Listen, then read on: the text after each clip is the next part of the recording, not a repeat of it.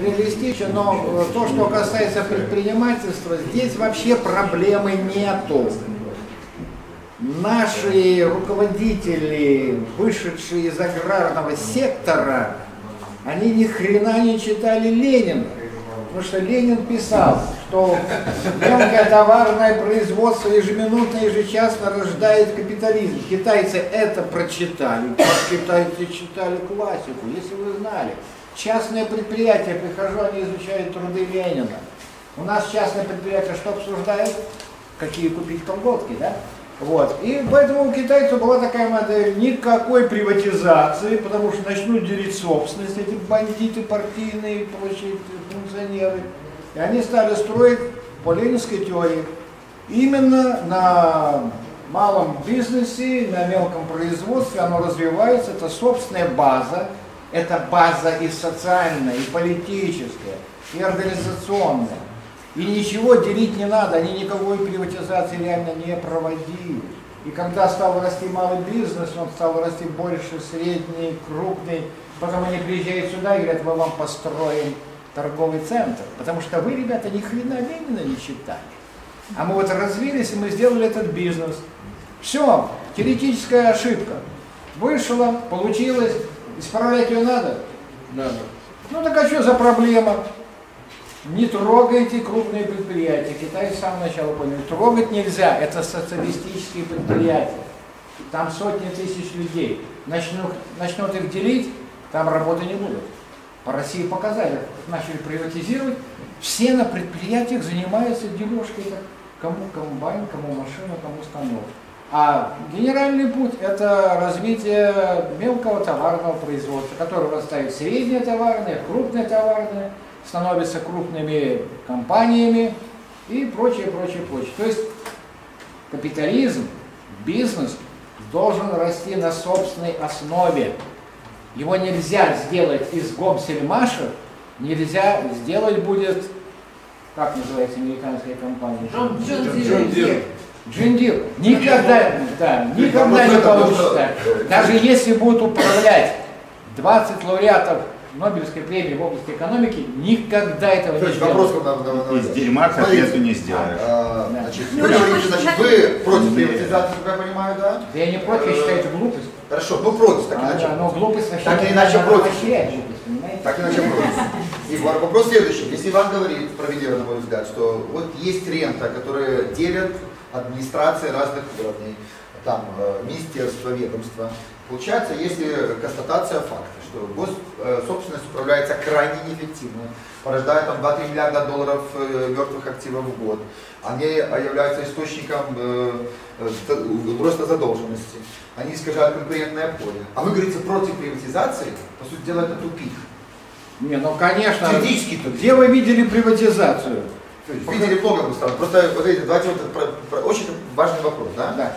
А, если бы государственный сектор работал на равных условиях частным, не вопрос, работаете. Вот сейчас э, мы здесь вот работаем, да, Лукашенко встретился с какими-то китайцами, сказал, пом- да, помогите нам сделать такую же госструктуру, как Сити. Ну, Международную. Да, 65 с чем-то миллиардов. Сити, она работает по всем правилам IPO, там, Нью-Йоркской фондовой биржи, это абсолютно а, рыночный инструмент. Вопрос, э, е- смогут ли теоретически в Беларуси создать такую компанию, как Сити, компании китайские, которые, например, там китайская China Mobile, China Bank, они работают они в списке Forbes везде, потому что у них правила единые международные, у них не внутренние китайские правила, а белорусские правила. Пойдут, нет, пойдут ли наши власти на то, тоже Лукашенко, на то, чтобы в Беларуси появилась компания, которая будет работать не по правилам вот, э, Минского горисполкома, Совета министров, а по правилам Нью-Йорка, Лондона. Так, значит, что я хочу сказать. Вот это очередная иллюзия. Александр Егорович решил, что вот можно опять насадить какой-то опыт. Я помню посещение первое у меня было шанхайской биржи. Это была первая биржа в Китае. Шанхайской биржей руководил старый коммунистический такой пенсионер. Он, он, был, он прошел пытки, он там боролся с империализмом прочее. И, и я помню, он руководит биржей. А как руководить биржей? Мы подъезжаем к этой бирже, а там бьют морду друг другу китайцы. Значит, идет борьба. Идет борьба за собственность, да? Вот поэтому, а, а теперь вот давайте мы перенесем вот это, то, что Китай прошел быстро, да он, так сказать, там развивался, эволюционировал. Сейчас мы приедем в Беларусь, так?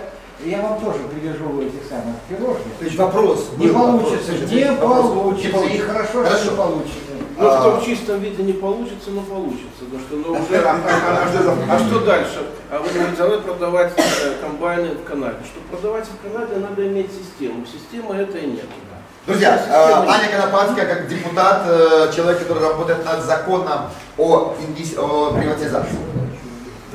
Да. Нет, ну я, я понимаю, но Самое золотое слово, что сказал Иван, это то, что мы, особенно власть, забыла сегодня про то, что право собственности должно быть священно и незыблемым. И пока, и, но мы с другой стороны понимаем, что для власти сегодня создать класс собственников, у которых есть там земля или средства производства, или предприятие, это угроза сегодня для самой власти. Потому что она потеряет вот эти вот э, административные ресурсы, вот эти вот административные точки, и, и она не будет уже способна создать вот эту вот колониальную, внутреннюю э, колониальную систему. И поэтому сегодня власть готова делать видимость каких-то реформ, но самое страшное, что сегодня власть все, что делает, все равно делает за закрытыми дверями на коленке. И у нас все равно мы не можем сегодня, мы можем участвовать э, там один, два, три человека там в, в со- совете по, предпринимательству, каких-то заседаниях, но мы не можем все равно создать какую-то э, широкую коалицию давления на эту власть.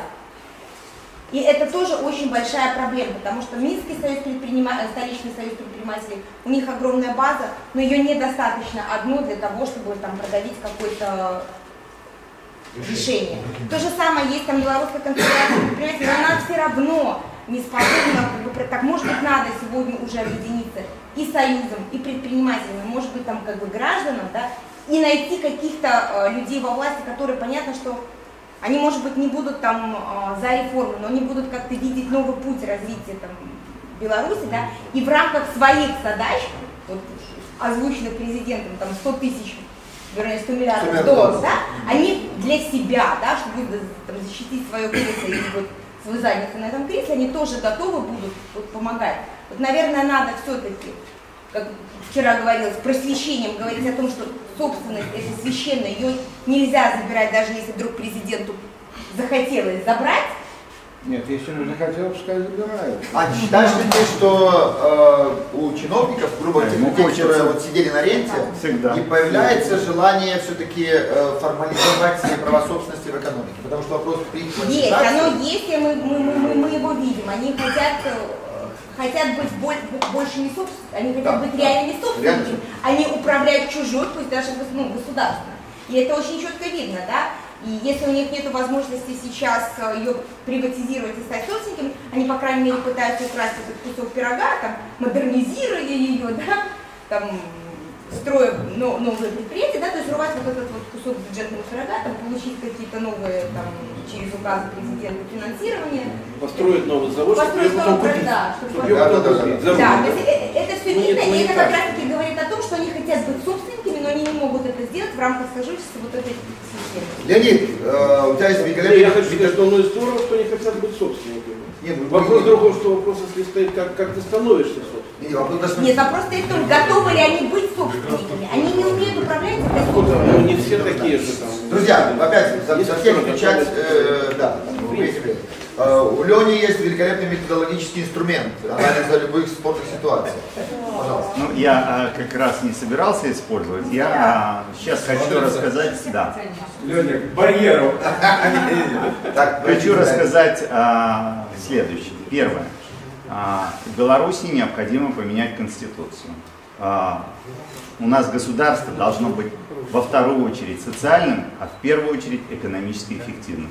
Что такое экономическая эффективность? Соотношение затрат и результатов. Вот когда это будет присутствовать на всех уровнях, тогда у нас поймут, что нам не нужны облсполкомы совершенно, что нам э, надо передавать все эти полномочия вниз, и полномочия, бюджета соответственно, что нам не нужны эти министерства, это абсолютно пустые органы. Ну, оставить там буквально парочку по минимуму Минюст, там и так далее. Ну, вот это наоборот. Вот. Ну, я высказываю свою точку зрения. Да. Помните? А, они не нужны. Это пустота. Они Твое занимают отношение к приватизации с точки зрения, ты как бы а, ситуацию, государственные бы, организации местно, совершенно неэффективны в Республике Беларусь и За будут приватизацию. неэффективны.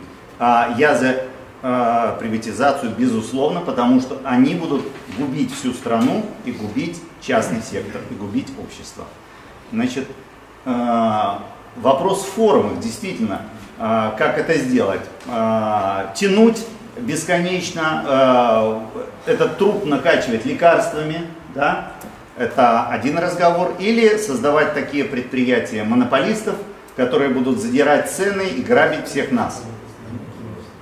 Андрей Федорович, Не, но дело в том, что мы попали в жуткую ситуацию. Вот я смотрел то, что Иван рисовал, писал.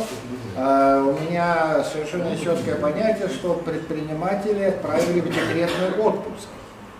После- Декрет номер 7. Вообще в декретный отпуск. Понимаете, вот на сегодня они находятся в декретном отпуске. Но то, что касается приватизации, а, вообще не надо бояться того, что мы не занимаемся приватизацией. Ей занимаются, заниматься будут все равно. Инсайдеры будут стараться делать и будут приватизировать по третьему тому капиталу. А всех думают, что будут идти по первому тому капиталу. Теоретическая ошибка. Вот. Второй момент. Всегда в этих случаях, когда я абсолютно убежден, что надо делать опору на развитие э, инициативного предпринимательства. Мой первый день я заработал в Всемирном банке, я делал анализ э, белорусского предпринимательства по структуре по содержанию. В белорусском предпринимательстве было два основных течения. Первое – это номенклатурное предпринимательство, которое делало все под крышей, учили детей, внуков там и прочее, прочее. И инициативное предпринимательство, куда ушли люди, так сказать, там, ученых, у нас было 100 тысяч в Академии наук, стало 42, ушли, так сказать, там, студенты, и все это было массовый такой порыв. Их, конечно, зарезали, зарубили, так, в отличие от Китая. Но на сегодняшний день не надо стрессоваться, не надо бояться, что у нас есть крупные предприятия, которые там э, плохо работают, требуют денег. Вообще оставить их, вот есть правительство, да, в правительстве авиаинженер, вот оставить, оставить эти предприятия, ребята, что хотите, то и делайте, да? А мы будем заниматься, вторая часть или первая часть правительства, будем- мы будем заниматься созданием эффективной конкурентной экономики, э, построенной на частном секторе, построенной на частной инициативе, построенной на совершенно новой э, концептуальной схеме, это будет называться новая экономика, интеллектуальная экономика. Это 3D-производство, это роботы, это электротранспорт и IT. Вы понимаете, нельзя. Вот товарищ Сталин, чем он был хорош? Он понимал и чувствовал, что самолеты, да, должны быть, авиация должна быть, да, танки должны быть. Товарищ Сталин, между прочим, между прочим, это был, ну это не мое мнение, Яков Кедмин, что был единственный политик, который думал о народе своем. И до сих пор такого политика нет. с издержками не считался. Не, ну хорошо, хорошо. 50 миллионов зафигачить ты скажешь. Да, Задумал. да, но это, это топка. Он. Мо- Можете, можете что хотеть э, думать, говорить, но есть только два человека. Это Адольф, который за 12 лет с 33 года по 45 сделал дороги, сделал ракеты, сделал атомную бомбу. И если Александр Григорьевич, который 25 лет сидит, тут лопатой копается, ничего не получается.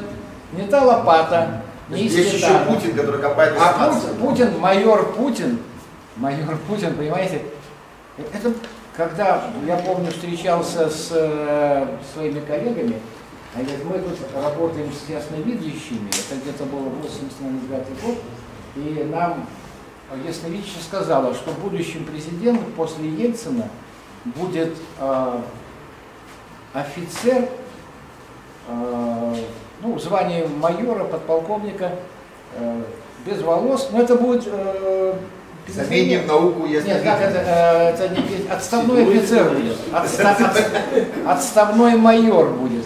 И как все а, мои российские коллеги, как- они все смеялись. Она в России чтобы майор стал президентом, отставной офицер, это же не полный impossible. Окей, мы не про это говорим. Да, Просто, Аня, Я не могу ты- ты- согласиться Аня, подожди, вот в контексте еще просто одного вопроса, важно, э, да. свободное А, плавание, без, без финансовой поддержки. ну, если без финансовой поддержки... Я согласен. Да, да, Друзья, посмотрите, посмотрите. Ну, А, девушка. То есть вы предполагаете, ваша схема, Владимир Федорович написал, работает только тогда, когда реально перекроен бюджет.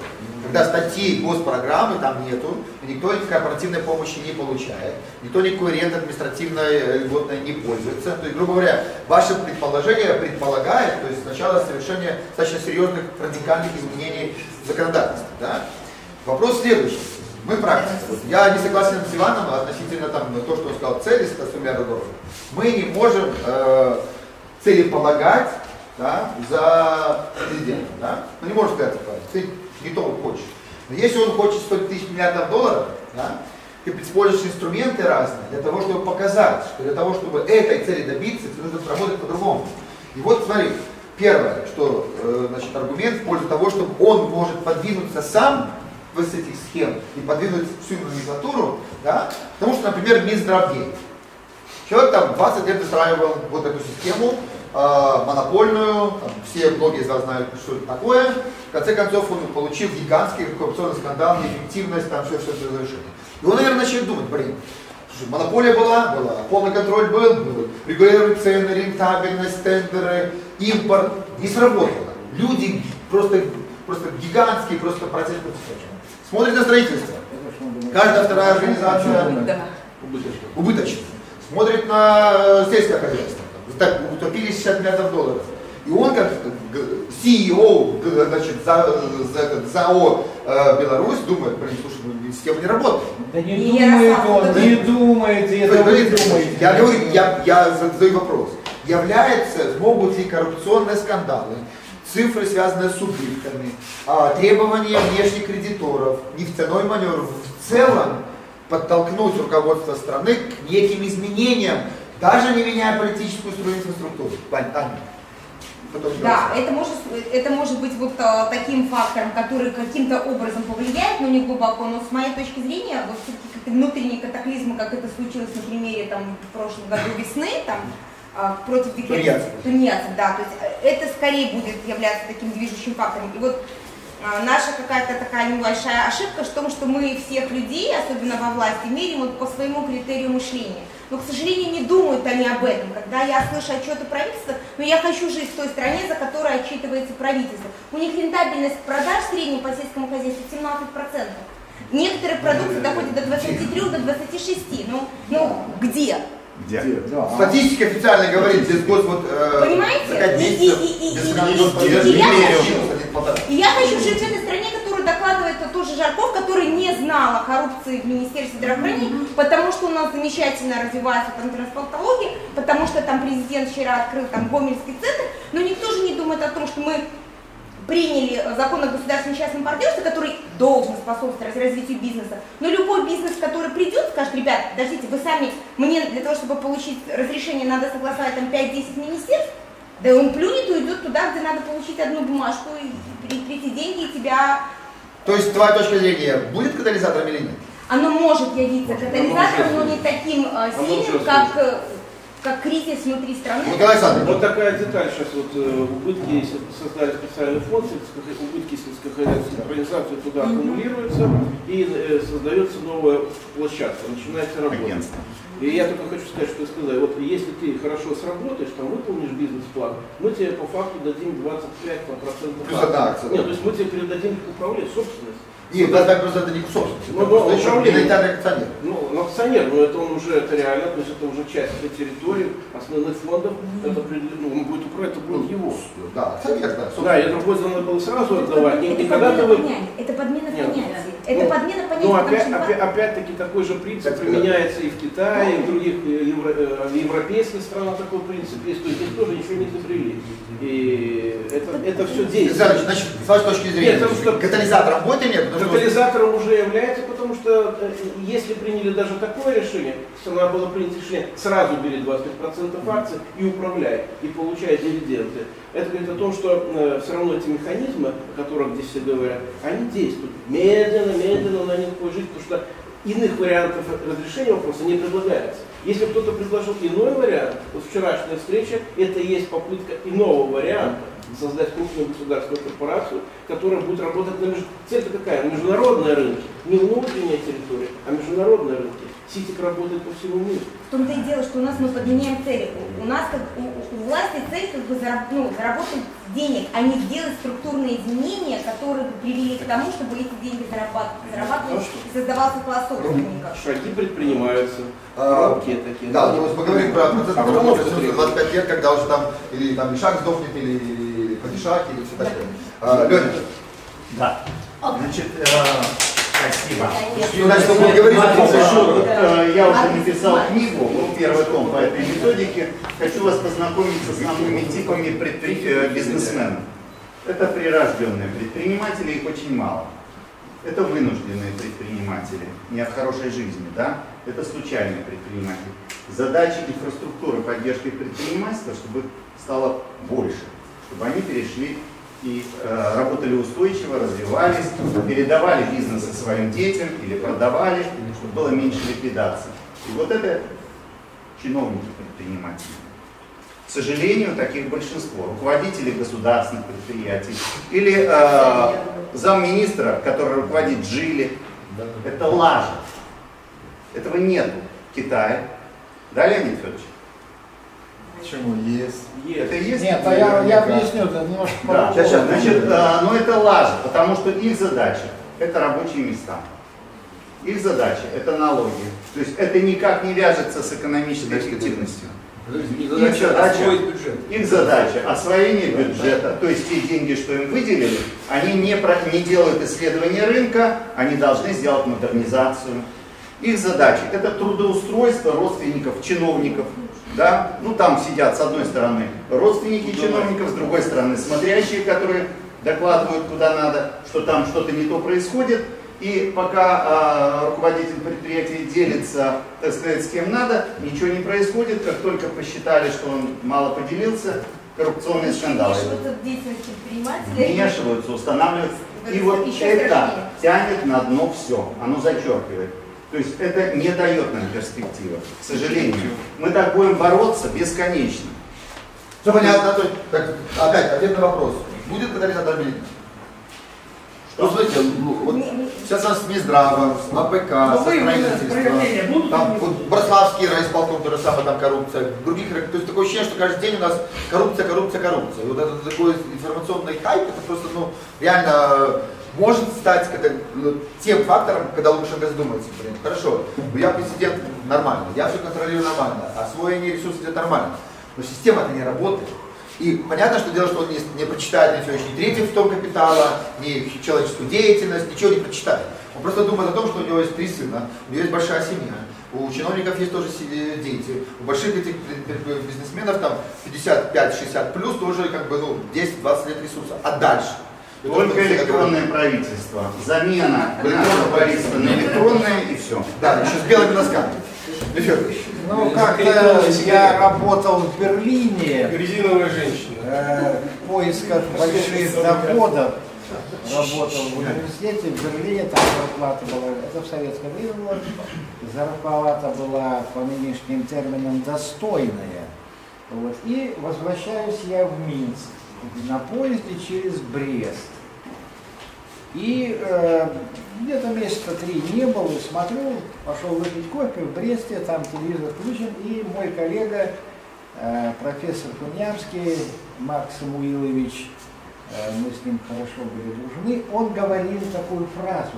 Вот сейчас мы ведем хозрасчет по второй модели, и у нас экономика заработает по-другому. Я грохнулся под стул, думаю, как это вот страна, вот она как-то, она какая-то наивная. Сейчас мы ведем какую-то вторую модель, хозрасчет ее ввели, и ни хрена не получилось. Давайте третью ведем, четвертую. Значит, что будет, Лукашенко это не беспокоит. поверьте. Тем более он сказал, что с вами одни и те же книжки читал. Вот. Надо я- обсудить, Леонидович. Да. Какие вы книжки читали Единственная книга, которая... Вот. Ничего не изменится. Ну зачем меняться? Здесь, возможно, два момента. Первое, идет генерационная ломка, то есть э, э, Лукашенко пенсионер и его вся команда э, пенсионеры. Они пришли, они нифига не получили, калийный комбинат не разделили. Мозырский не разделили. Ну что вы, дети говорят, папа, ну что вы делали? Где, где мой калийный комбинат?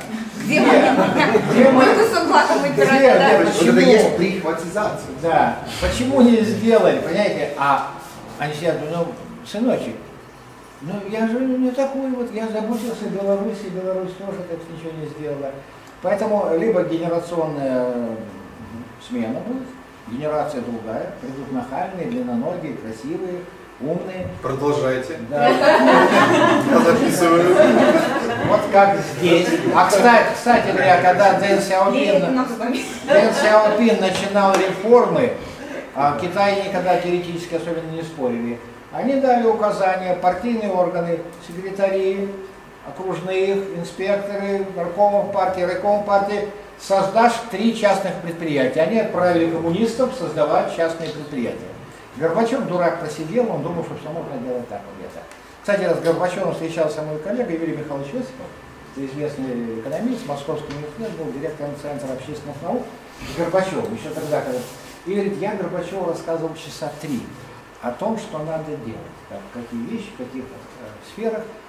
Я говорю, ну и что, Юрий Михайлович? А он меня потом спросил, а кто это все должен делать? Говорит, ну и все, после этого стало понятно, ребята, наш, наши, это самое. А, Друзья, рефлексии, замечания, вопросы к нашим Я, я закончу. Либо это внешний фактор, просто придут другие ребята и, так сказать, сделают, а вы, а вы сидите, что вы сидите. Короче, Иван прав. Работает, паровоз идет и будет идти еще долго. Не, не, ну, ну как же- Ярослав, И портить экологию. Замечание Женя, а потом... человек хочет других результатов, не меняя при этом привычные паттерны действий. Как говорил Эйнштейн, делать то же самое, ждать других результатов, это безумие. Мы просто говорим о банальной некомпетентности, необразованности. Женя, вопрос Опыте. таки опять. Мы же мы не поменяем понятие. Я не считаю, что там Лукашенко вдруг там или там Сидорский, не Сидорский, этот э, Капитовский, Сидорский правильно вдруг как-то они как-то ну, по-другому будут думать, да? Я всегда исхожу из некое представления о понимании их интересов. Человек, вот, э, кто у нас был, помните, Аверьян, был бизнесмен, да? Такой большой, там, мощный, там, богатый, такой все. И где он сейчас? Грубо говоря, неужели нет, ну, в Европе там как-то эти Скрывается. Неужели хочется того же, того, тот же Чиж, да? богатый человек, в топе, раз, и я, я не к тому, что он там будет там бедствовать и все. Вопрос статуса, психологического вот, нематериального актива, который есть. Вот неужели даже вот, э, Лукашенко или все правительство вот будет им 70 плюс, да, он приходит и говорит, ну мы будем бороться за то, чтобы зарплата была 502 доллара в месяц. Ну, блин, ну это просто цель, полет, вообще такой, знаешь, вот какой-нибудь там из Богушевки. Да? А как сделать так, чтобы, например, вот у них проснулось хотя бы спрос на некие другую там целеполагание? Вот самое главное, то есть, чтобы нам всем летать, надо, чтобы... Да, да, да. Валерий Григорьевич, давайте. Можно это? Конечно, конечно. О, А, Нет, Смотрите, давайте мы так рассудим. У нас есть начальник. Начальник. Начальник. Он проводит планерку. И говорит, мужики, извините, женщины, мужики, мужики, ну да, есть такой начальник. Значит, задание. 100 миллиардов по такому-то сроку. Да? Задание. Вот провели планерку, получили задание, пошли выполнять. Один квадратик, второй квадратик. Один я не рисую, второй ставлю большой знак. Это мы. Сколько, какую цифру мы готовы сделать по заданию начальника? Это первый вопрос. А второй вопрос. Начальник сказал, что будет создавать государственную корпорацию. А кто возглавляет не го- не государственную корпорацию на нормальных бизнес-принципах, где у меня, у моей семьи будет 0, 0, 0, 0, 0. одна Ну, миллионная, Одна, одна десятимиллионная. одна десятимиллионная. Но по-честному, эта акция будет стоить денег. Да? У, ну, ну, проще, там, у господина Машенского будет 5% или 15 или 25%. Ну, да? Но мы по-честному будем, да? Мы Честно на, двух принципах. Так скажите мне, о чем мы обсуждаем? Сколько мы вот эту цифру называем, да? И до тех, поймите, я просто скажу, до тех пор, пока человеку на привычном языке мы не скажем, что мы в его э, плане занимаем вот эту вот цифру, послушать никто не будет. Все. Ну, Хорошо. Валерий Юрьевич, вопрос тогда и к вам, панелисты, дорогие. Вот это, я так понимаю, частный сектор, да? Да. А, сегодня, да, ваша оценка, сможет ли госсектор вот без этого сделать это? Нет. Нет, нет, Как мы как раз, в этом вся фишка. Мы должны честно сказать, что, ребята, мы сделаем 5%, 10, 20, 25%, а вы попробуйте сделать Вы на самом деле подтверждаете мою гипотезу, да, что вот это, да, вот та задница, которая у нас есть, да, побудит президента Нет, вот, нет. Ничего- хотите? ничего не будет. Никаких- никаких вызовет, вызовет он э, Садовского. И И, он? Садовский ему скажет, Сергей Юрьевич, для того, чтобы сделать это, вы, не трог- вы, Заика сказал, что нельзя трогать это. Правильно сказал. Создайте условия для этих, Не, они надо, вам не надо создавать условия, не надо создавать условия, не надо создавать. Не надо создавать условия. Надо самим сказать, что мы готовы в этой рамке, в этих рамках сделать вот столько. Мы готовы Мы прокопать один отвечаем километр за это. траншеи. И у нас. Вася, Вася, главный. А тема смотрящий. Да, понимаю. Он-то, э, дело в том, почему. Васяка. Что Лукашенко, ему сказали, мы можем сделать, если будет деловой климат. Он сказал, не вопрос, Садовского позвать, этого позвать, собрались, там, Но Корягин, он Львов. работает в привычном масштабе. Нет, хорошо, видите, но он- До тех пор, пока он не может разговаривать с Васей, мы масс, мы биомасса. Да, да. Он выделяет из этой биомассы. Что Садовский? Садовский по росту выше меня, Садовского сюда. Ну а как? Тогда Ладушка вообще тогда первый будет. да, да, Так все задумано. Спасибо, спасибо вам важно. Николай Иванович, время. Я практически как, как, все, как все считалось. Э, Брали группу, брали, ну, брали, допустим, экспорт ВВП раскладывали, под- кто это обеспечивает. И выходили, что в республике там 15 предприятий, которые это обеспечивают. А остальное там начинается степень э, погрешности пошла. И поэтому, естественно, такое возникало, существовало отношение. Но время идет, ситуация меняется. И то, что раньше, как в Минске, ну, это 10 предприятий, самые крупные налогоплательщики. Там Белтрансгаз, там, т- т- т- т- т. 10 организаций, при том, что в городе находится 42 тысячи юридических лиц. 10 юридических лиц формируют 60% бюджета города. Ну, вот и поэтому а, привеска, привеска, привеска. То есть ситуация меняется. Значит, эти те 15, которые давали львиную долю, а их доля, она уменьшается. А возникает вопрос, чем, чем это восполняется? Налоговый маневр в следующем году уже в бюджете 25% акцизов меньше. То есть куда это? То есть бюджет недополучит. То есть это не получит, недополучит школы, дороги. программа, да. Да, недополучит. Нет, Ну, госпрограмма ну, это хорошо. не, ну ладно, ну дело не в этом, ну недополучит, да. То есть, а чем возмещать? Значит, поэтому появился проект 1742 проекта, которые закладываются, потом их умножаешь там на вложения. Ну, это, это механическая такая... И получаешь 100 миллиардов. э, Пузырь такой, да. э, 100 миллиардов. А потом те же люди с Мина начинают говорить, что это на самом деле не, не проект, не бизнес-план, а а как, как это все реально, да. И поэтому отсюда вопрос, что вот эта вот составляющая надо создавать, ну с Карпулиным тоже, на этой неделе три часа. Я говорю, хорошо, то есть вот эти социальные изменения, они должны дать возможность, чтобы сам по себе, как говорил, поляну зачистите, и все, все вырастет.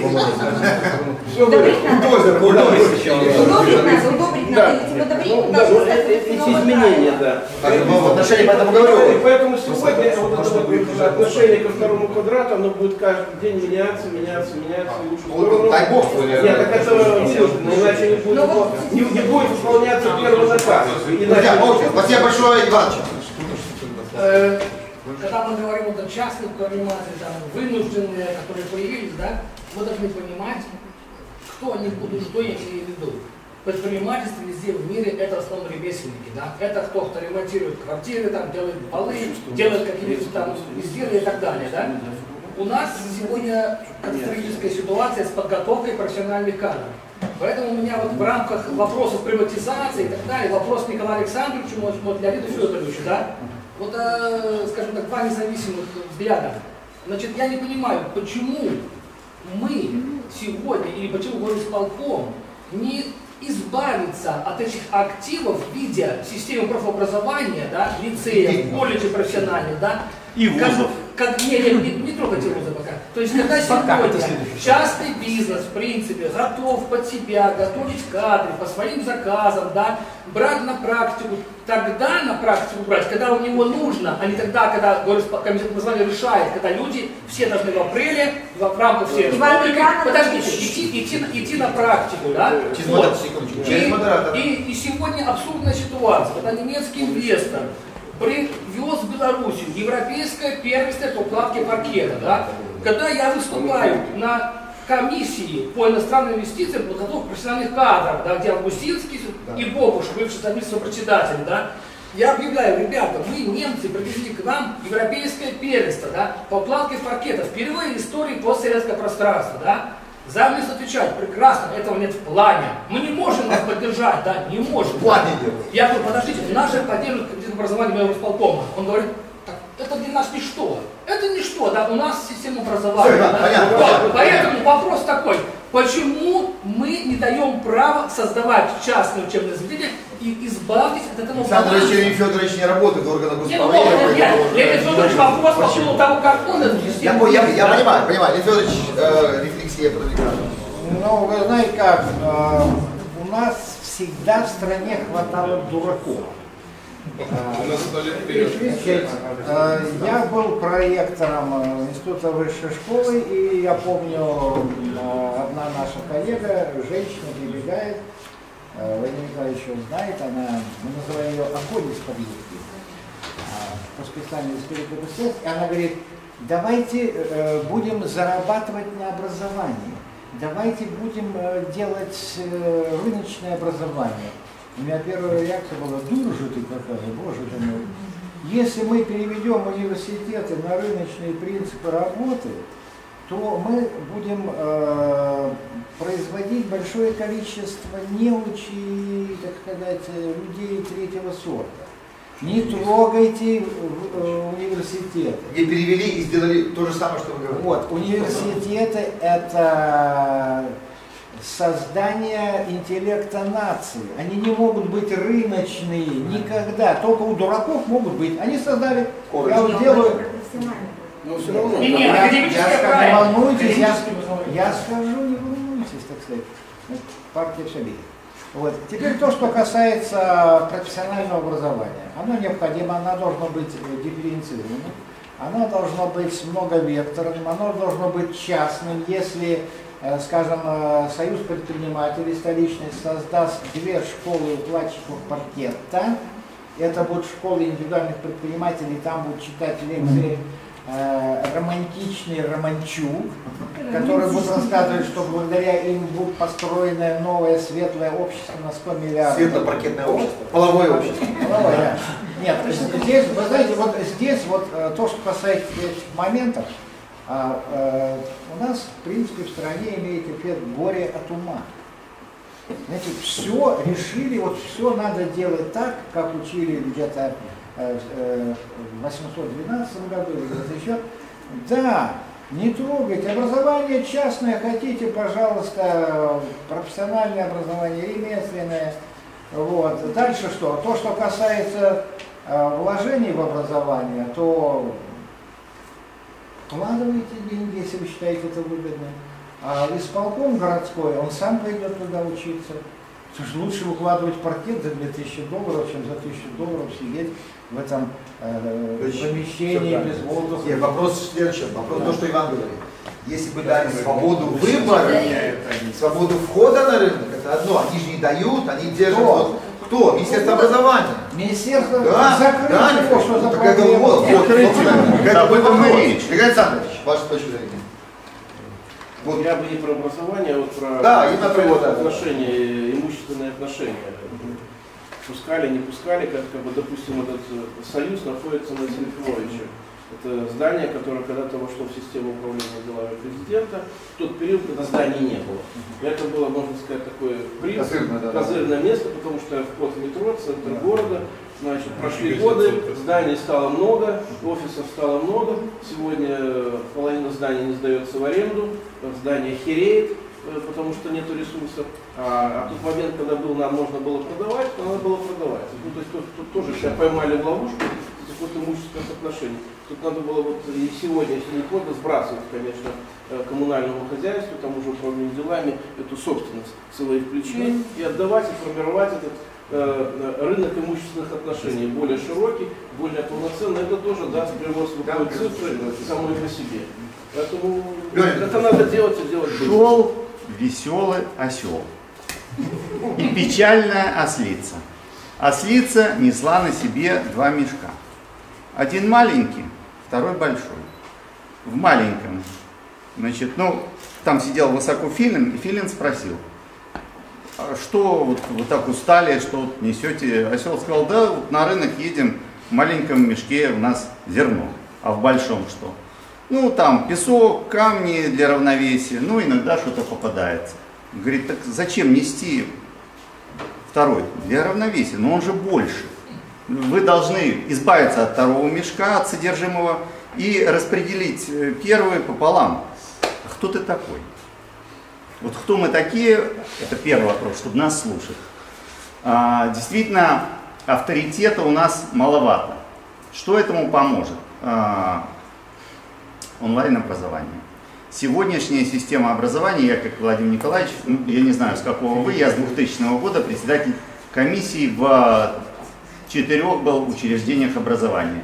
Я вижу полную деградацию маркетологов, экономистов, менеджеров а, и так далее, и так далее. Эта система уже изжила себя. Туда приходят люди платно, бесплатно, ради корочки, чтобы устроиться на какое-то место. Эта система должна быть ликвидирована. То, что я имел в виду, когда говорил, что надо вузы наши ликвидировать. Потому что наши вузы себя изжили. Просто вот э, подтверждение, Володя только утром приехал, Паплика, да, он же в БГУ на ходе преподает. Вы не представили. Владимир, так он приехал сегодня сегодня, поэтому. Э, Владимир Паплыка сам скажет что. Ну, э, уважаемые коллеги, мне приятно посетить ваше мероприятие, летнюю школу. Э, Я тоже был участником некоторых школ, но тем не менее ситуация сейчас такова, что все-таки не в зависимости от ситуации я постараюсь бывать на летних школах, чтобы ощутить тепло, атмосферу, обстановку и так далее. Но в настоящее время я работаю в Белорусском государственном экономическом университете, э, доцент, кандидат экономических наук, и кафедра называется «Наша экономическая политика». А Подумайте, экономической политики, наверное, в республике единственная такая кафедра.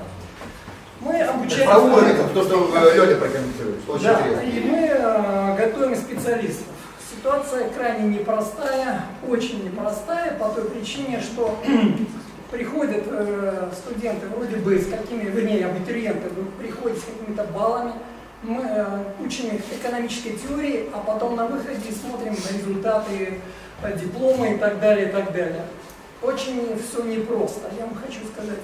Э, Мотивация студентов меняется, мотивация у преподавателей тоже меняется. Но э, что я вам хочу сказать? Э, Конечно, э, ситуация ну, выходит из-под контроля, нужно что-то делать с нашим образованием экономическим. Так тогда что? Он говорит, закрыть ваш вуз. Ну, закрыть, Не, ну, он сказал, вы понимаете, в чем дело? Я подписаться, я не говорю, что Не, не, ну он так сказал, не, вот сказал, закрыть. закрыть. э, У нас учится новое. 16 тысяч. 10 лет назад училось ну, 25. ну, Столько экономистов, конечно, не нужно. Нужно переходить на качество. Сколько Качество эконом- есть, Володя, качество есть. Качество. С качеством есть. Ну давайте вы про академиков не будем говорить, мы говорим про малый и средний бизнес. Ребята, простая все. Сегодня в Минске некому делать сантехнику, некому ложить плитку. Что? Давайте не будем про академиков говорить. Мы говорим о том, что- Вот да, по очереди. Потому что Ты не ревнуй, я разговариваю. По очереди, по очереди. Я единственное в процессе обсуждения мне очень понравилось. Внимание, 5 минут еще и заканчиваем. Мне очень понравилось Друзья, внимание, 5 минут заканчивается. выступление Вани Садовского. Единственное, я хочу э, напомнить еще один такой момент. Есть социальное рыночное хозяйство в Германии. 45 год, все разрушено. Тем не менее, была концепция, как реформировать, преобразовать э, немецкую фашистскую экономику. Просто в экономику, которая будет работать. Были люди, которые написали эту теорию, да, были лидеры Эрхард и были, я прошу прощения, чиновники, которые взялись реализовывать эту программу. И в Германии... Призывы Германии фашистского Я понял, он тот самый И последнее. Здесь не, не, просужда, не, не прозвучала практически вот э, концепция слова а, конкуренция. Она немножко трансформировалась в то, что типа предпринимательство, свобода, ну есть институциональная основа, значит, значит, с- свобода, конкуренция и э, в данном случае частная собственность. Все, спасибо. Аня. Последняя ремарка. Не, не, не, Не, не, не, не, пожалуйста, не, не, последний. Здесь ну айтишник, вообще, подожди. Дайте человеку поговорить. Последний раз. Нет, все. Академия IT. Академия IT это так нельзя делать. Хорошо, все, скажу. Все, я диктатура, модерация. Никаких я хотела сказать.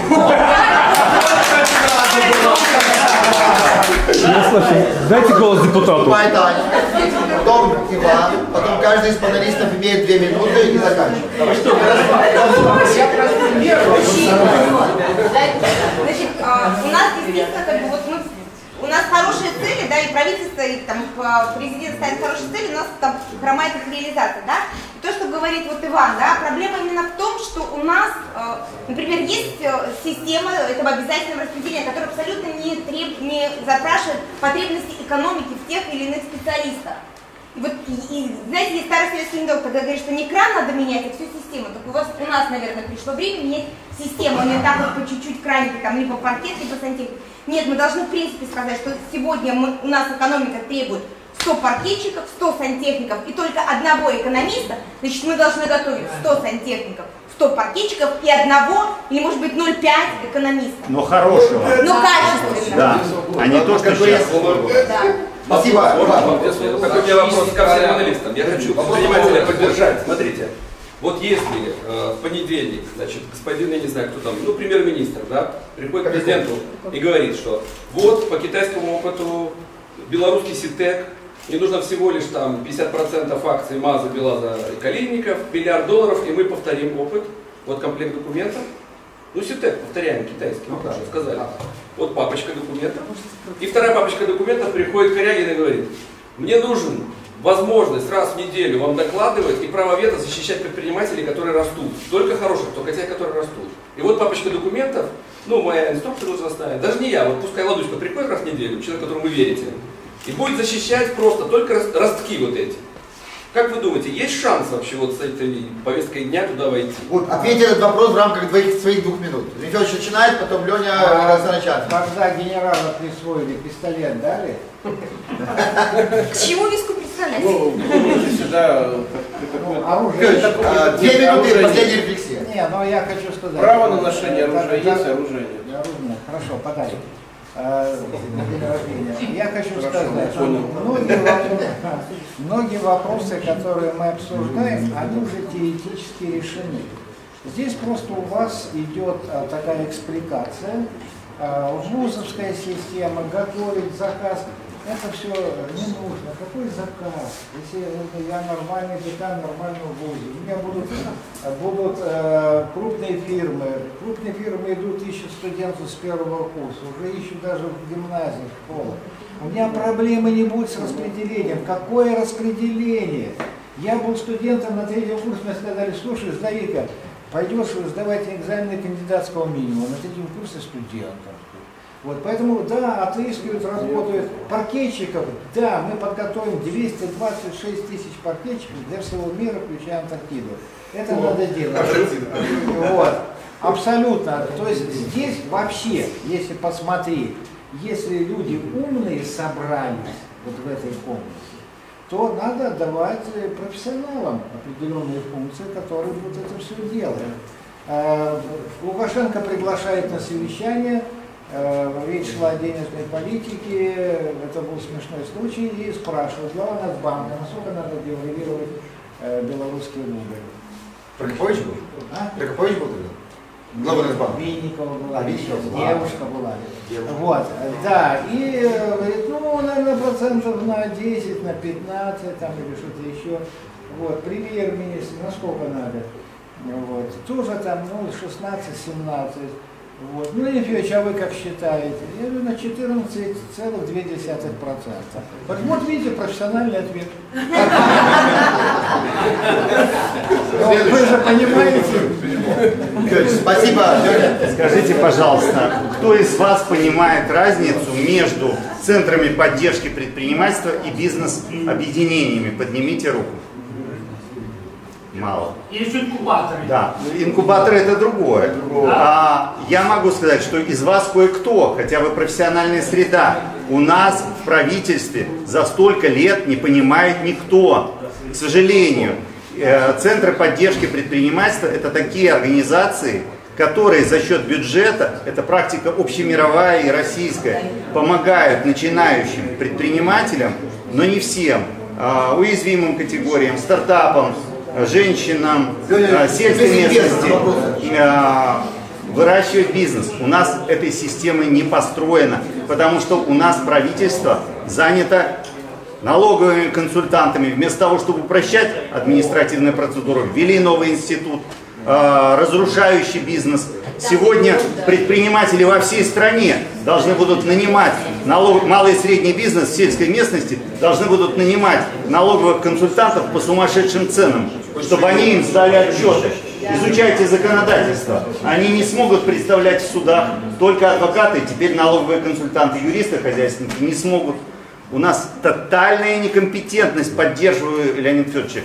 А, Когда нас не слышат, с нами не разговаривают. Так вот тут э, ответь на вопрос. Коллеги. Вот если придет Кобяков, Белорусский синтек или Ситек, он как бы имеет шанс на... Ситек это лажа, полная лажа. Значит, а, Все, без объяснения, лажа все. когда, когда Что мы все здесь Леня, должны Леня, работать. все, закончим. Что у нас, наверное, наша задача должна быть вот для того, чтобы пришли, пришел и Кобяков, и, и, и Ладуська, или Корягин, и послушали Корягина и Ладуська. Вот наша с вами задача сделать так, чтобы слушали не Кобякова, а слушали нас. Вот это наша задача. они хотят чем-то большим решить Друзья, все спасибо, проблемы. Владимир Николаевич, еще и будем заканчивать. Очень кратко. Друзья, все мы любим музыку, и мы часто говорим вообще, правительство сегодня пожарная команда. Действительно, там стратегии пишутся, но не исполняются, их никто не знает. Инструменты, которыми владеют, смотрите, поддержка предпринимательства, центры, инкубаторы, технопарки, да никто их не знает. Спросите любого министра, больше половины. Я каждому министру за- задавал вопрос, что такое форсайт, вы знаете? Никто не знает, что такое форсайт. Кто Фредерик. знает здесь, что такое форсайт? А в сайт не знаю. Форсайт. Форсайт. тема. Да, вот. Фредерик Форсайт. Суть не в этом. Сайт. А, по идее, чтобы работал оркестр, оркестр, музыка, мы все любим музыку и знаем оркестровую прекрасно. Вот, и есть, э, есть джаз, так? Есть музыка по нотам, Финберг умудряется играть джаз по нотам. Это не джаз. Владимир Евгений, то есть там, если нет какого-то инструмента одного, вдруг так скрипки, волторны заболели, там их нет, уже нет этого оркестра, партитура не работает, и дирижер не справляется с функциями. И другой джаз. Да, там нет саксофона или какого-то, их шесть человек, но друг друга перестраиваются, импровизация идет, и идет прекрасно. Игра, я вас всех приглашаю нас 1 числа и в конце августа, привет, американские джазмены. Вы видите, как происходит. Музыка рождается на сцене, на сцене, и зал в этом участвует, все. И все выходят невероятно одухотворенные. Нам необходимо вот это, мир сегодня меняется, фирма живет 4,5 года. Электоральный цикл чиновников 3-4 года. Либо наверх, либо в тюрьму. Вот, вы это отлично Либо в знаете. колхоз. Да. Поэтому, э, безусловно, владение инструментами и самонастройка. Э, Сегодня саморегулирующаяся организация, саморегулирующее общество. Столько есть у нас в потенциале активов, и тоже гражданская, и наши школы вот учебные. Я э, последние годы председатель ГЭКа БГУ по менеджменту, политехнического по бизнес-технологиям, попечителя философского факультета, университета культуры и искусств и три совместных кафедры создали с университетом. Студенты, ребята, молодежь, не, не плачьте, э, не, не, не говорите, не грешите на них. Великолепные молодые люди.